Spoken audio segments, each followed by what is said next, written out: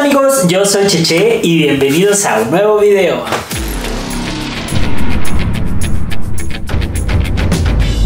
Y bueno, la verdad es que estos días me he llenado de mucha curiosidad, ya que estamos acá encerrados, y me puse a investigar de algunos life hacks o algunos trucos que podemos ocupar. La verdad es que igual hemos estado como organizando entre esto, entre aquello, entonces el día de hoy pues va a ser un video donde vamos a estar viendo si funcionan o no funcionan esos life hacks, aparte algunos truquitos y además un equipo que en verdad les recomiendo que tengan en casa que les va a sacar de muchos, de muchos, de muchos apuros, además de que es súper funcional. Y bueno, para comenzar el video, la verdad es que ya tengo un poquito de hambre y me voy a hacer unos huevos cocidos o huevos hervidos, como les decimos algunos. Y para esto, ustedes saben que luego se complica mucho el quitar la cáscara. Entonces, aquí les va este truquito que ¿Funcionará? ¿No funcionará? La verdad, no lo sé, pero aquí se los explico. Y bueno, de las cosas que vamos a hacer es precisamente poner nuestros huevos a hervir y para facilitar el quitar la cáscara nos recomiendan echarle limón o vinagre también he visto que le llegan a echar supongo que es por la acidez que nos llegan a dar pues este tipo de frutos así que en 10 minutitos pues vamos a ver si funciona este truco para quitar la cáscara más fácil o no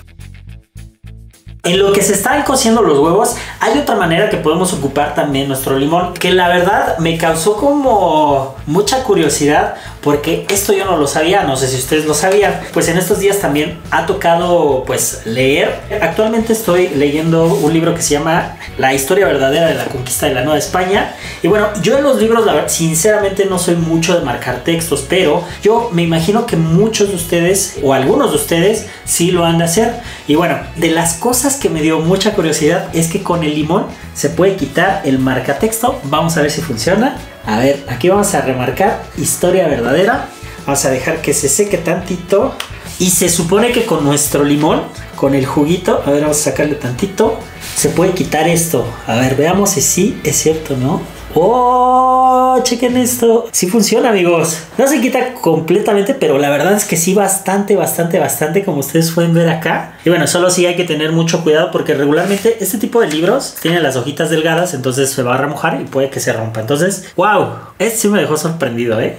Y bueno, aprovechando que tenemos los limones, pues la verdad, otra de las cosillas que debemos de tener en casa, pues son palillos. Entonces, hay ocasiones que cortamos muchos limones, ya sea para la comida, ya sea para preparar algún agua, y nos llegan a quedar algunas partecillas así.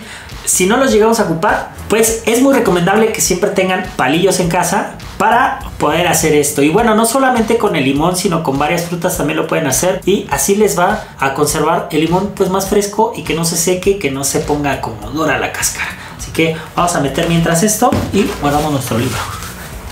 Y bueno, otra de las cosas que regularmente, digo, no todos quiero poner, pero les recomiendo mucho tener este tipo de pinzas. La verdad es que estas son súper útiles, no solamente para papelería, sino también para otras cosas. Y bueno, uno de los truquitos, ya que están cocidos nuestros huevos, es que esto y con unas ligas podemos hacer unas pinzas. Y bueno, lo único que tenemos que hacer es ir envolviendo nuestra cuchara y las pinzas con nuestra liga. La verdad son materiales que la mayoría debemos de tener en casa. Son pues cosas básicas, por así decirlo. Y vean, ya está de este lado. Ahora vamos con nuestra otra pinza. Y bueno, ahora sí, hemos creado unas pizzas para cocina. Y pues ya que están nuestros huevos cocidos, y vean, si no tienen unas pinzas, pues creamos unas simplemente con estas cositas. Ahora, también me imagino que estas mismas las podemos hacer con tenedores y hasta para la carne nos puede ayudar bastante. Wow, qué buen truco, ¿eh? Y ahora sí, ya que tenemos acá nuestros huevos cocidos y toda la onda, ya se enfrian un poquito. Así que vamos a ver si es cierto que nos ayuda el limón a que la cáscara se quite más rápido. Y bueno, pues la verdad es que se ven igualitos, ¿eh? O sea, mm, una de dos. O se me pasó o simplemente este truco no funciona. Así que bueno, pues ya tenemos. A ver, vamos a pelar el otro. Todos ahorita le vamos a quitar bien la cáscara para que me lo pueda yo comer, porque si no me va a quedar con hambre. Bueno, pues chequen, la verdad es que no hay mucha diferencia, ¿eh? Como les dije, una de dos, o se me pasaron, o simplemente ese truquito no funciona.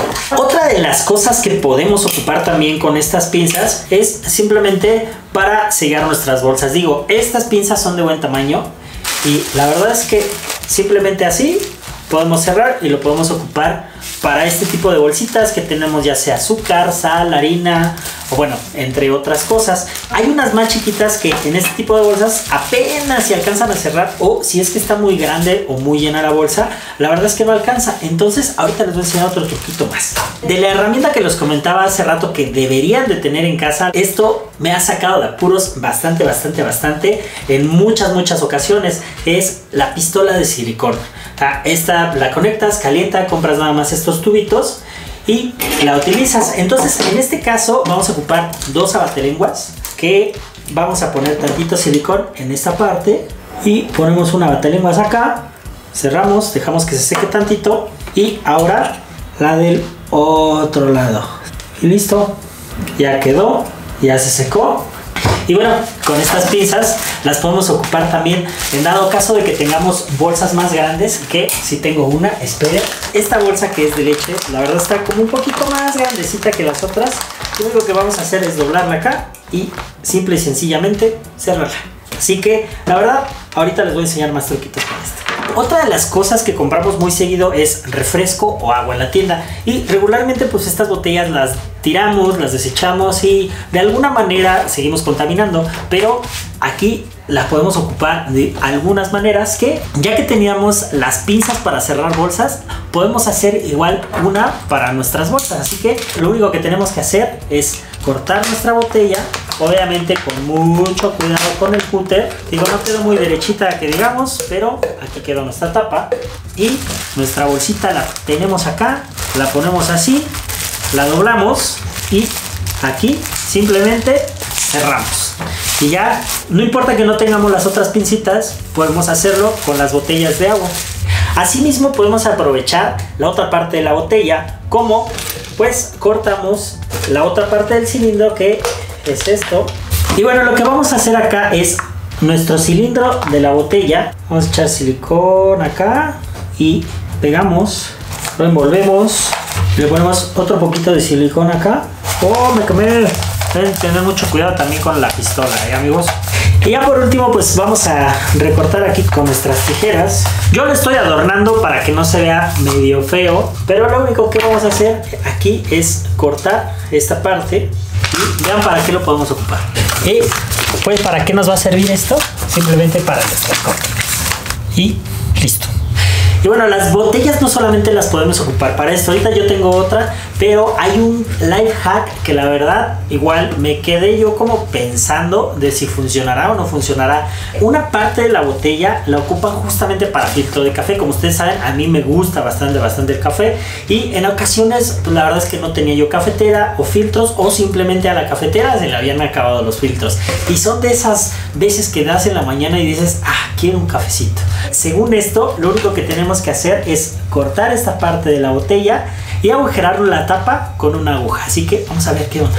Y bueno, ya que cortamos así nuestra botella, lo único que tenemos que hacer es simplemente hacer los botellitos con un clavo, una aguja. Yo pienso que entre más finito estén las perforaciones, va a ser mejor, ya que el café, pues regularmente los molidos son muy finos, ¿no? Así que vamos a hacer esto rapidín.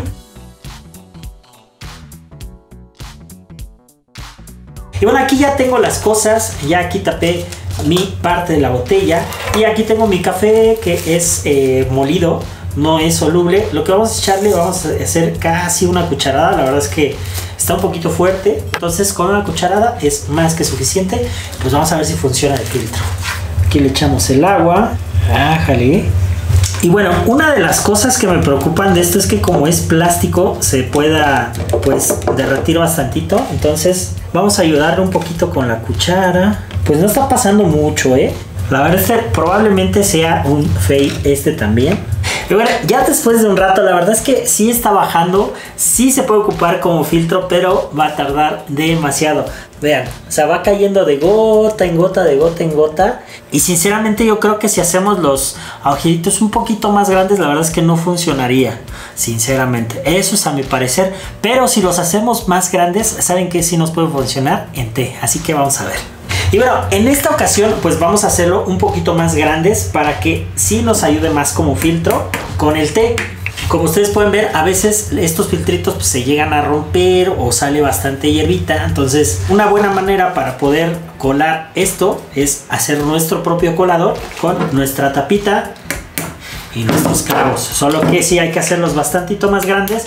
A diferencia del café, como las hojas son un poquito más gruesas, así nos pueden servir. De antemano yo sé que algunos o muchos, porque yo me incluyo, nos gustan mucho los test de infusión. Esos test regularmente tienes que hacerlos con un utensilio especial que pues nos sirve para colar las hojitas. Las hojitas regularmente son más gruesas, algunas traen un poquito de fruta.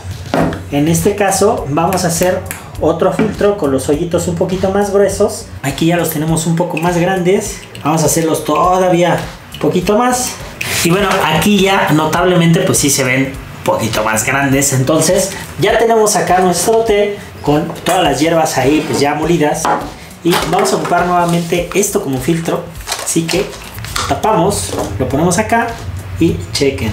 Pues este sí, definitivamente está un poquito más grande. Lo único que vamos a hacer pues es colarlo, pero si se dan cuenta aquí sí ya pasa más, más rápido nuestro té. Igual vamos a tener que esperar bastantito, unos cuantos minutitos, pero de igual manera pues se puede poco a poco, ¿no? Va a ir goteando. Así que vean, aquí sí se alcanza a ver más cómo está goteando, pues más rápido. Otra de las cosas que nos llegan a veces a pasar es de que cuando nos rasuramos se les llega a quedar el pelo a los rastrillos. Eso la verdad es que una desgasta bastante el rastrillo porque luego ya sea las espumas o hay algunos que se llegan a rasurar con jabón, se les llega a quedar estos pelillos. Entonces otro de los truquillos que vi y vamos a probar ahorita si funciona es que le vamos a echar con nuestra pistola de silicón acá Vamos a echarle bastantito. Y bueno, vamos a esperar a que seque y ahorita se lo quitamos. Bueno, ahora sí ya que se secó el silicón, vamos a ver si es que funciona. Vamos a quitárselo. Y efectivamente funciona. wow. Muy, muy, muy buen truco. Para esos que no están acostumbrados a limpiar su rastrillo, créanme lo que les va a funcionar bastante y además de que les va a durar más el filo. Y les voy a enseñar un último truco aquí con la pistola de silicón, que es justamente hacer una funda para nuestro cuchillo. Que lo que tenemos que hacer es untarlo con vaselina. Vamos a echarle tantita vaselina en todo, todo, toda esta parte para que no se nos pegue. Hay que tener mucho cuidado. La verdad es que yo este cuchillo, y como muchos cuchillos que venden, eh, pues así en varios lados, no los venden con alguna funda. Ocasionalmente, la verdad es que ahorita como yo no tengo algún portacuchillos o algo así, pues lo dejo yo regularmente en un vasito y así es como lo agarro. Pero sí hay que tener bastante cuidado porque con algún descuido, pues podemos cortarlos. Así que lo untamos con vaselina y vamos a hacerle simplemente esto.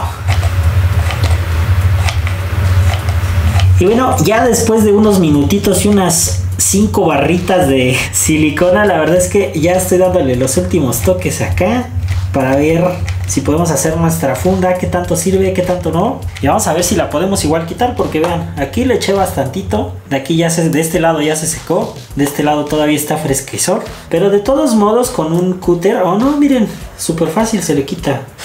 Vamos a dejar que se enfríe. Veamos si funciona si no funciona. Creo que no funciona, creo que se pegó, miren.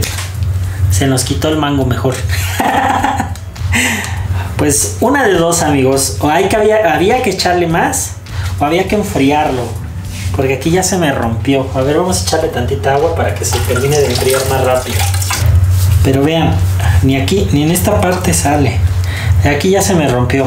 Pues bueno, intentamos hacer una funda de cuchillo, una de dos como les dije, o hay que echarle todavía más, más, más, más para que pegue bien. Y simplemente con la vaselina, pues la verdad es que no, mejor se nos pegó así. O sea, esta parte sí se puede quitar bien, pero la otra no. De igual manera, pues vamos a tener que cambiar de cuchillo. a ver, aquí ya está despegando. Recuerden mucho cuidado al hacer estas cosas. Ya va saliendo nuestra funda. Y... Y bueno, sí salió y no nuestra funda para cuchillo. más o menos, más o menos salió.